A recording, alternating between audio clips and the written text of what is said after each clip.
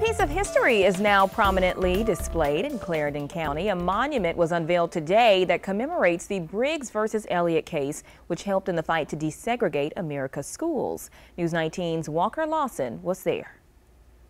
This is something special because they got a stone for the name that we're not recognized. And I shout praise to God. Stand and say, see what the Lord.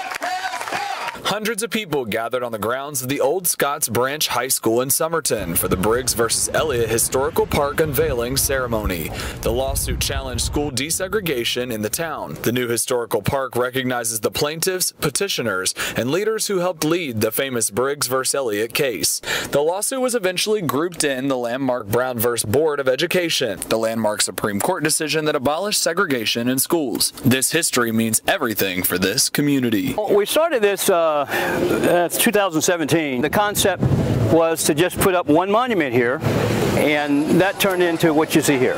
We were determined to recognize those plaintiffs and petitioners and leaders who did the stuff that they did, the Briggs versus Elliott case. Robert McFadden is the president of the Summerton Community Action Group who hosted the event and says it's needed. These people have to be recognized, okay? And they will be, they are being recognized. It was excitement that we finally got it done because from the inception of it, we had a vision, but we didn't know how it was going to work out.